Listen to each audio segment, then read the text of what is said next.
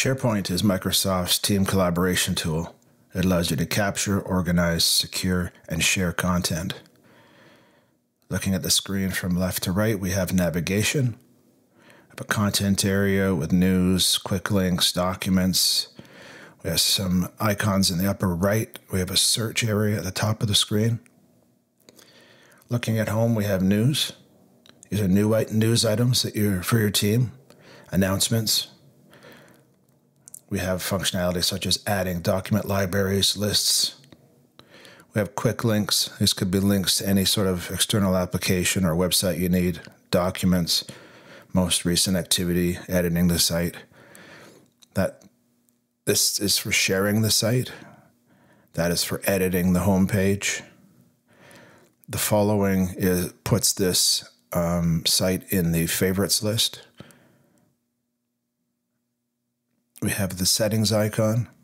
If you're a site admin or an administrator, you'll be in there quite often. We have help and the account information. Conversations opens up the web version of Outlook. You can go there to send messages, calendars, and also manage your Office 365 groups. We cover more videos on those topics.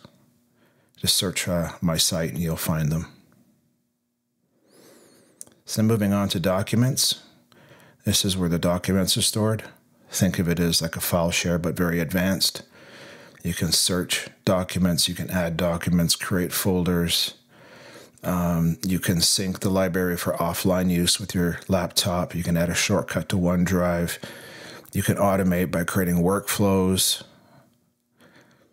Here is the various views you can get of the content of the documents. You can see that it it can list them, it can icon them. These are filters. So in SharePoint, we use filters and views to view content as opposed to um, browsing through folders and subfolders. That's the context menu. I can open up the document in the web version of Excel. From that menu, I can also share. I can manage access. So for example, here I can delete the file and we'll go down to the recycle bin. And this operates much like the recycle bin on your laptop. I can highlight the file and I can restore it. You can see over to the right the sign there that it was restoring, and there it is. And here's uh, more examples of sorting.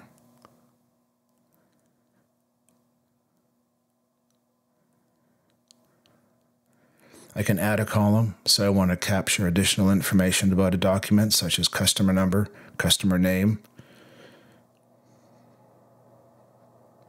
Shared with me as content shared with the team. There's nothing there at the moment. This is OneNote. I can store OneNote notebooks on the site. It's a rich editor for text, images, and videos.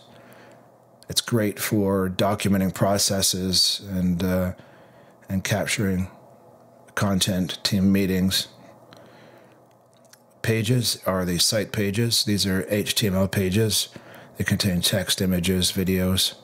You can create those uh, as you see fit, customize the homepage experience. This is the contents of the site, the lists and libraries. That's where SharePoint stores the content. And that's the recycle bin. We've already been there. That's a folder I've deleted recently. And this is for editing the menu. You click edit and you can rearrange the contents, you can rename them. And just back to documents. That's probably the main area you'll use within the site.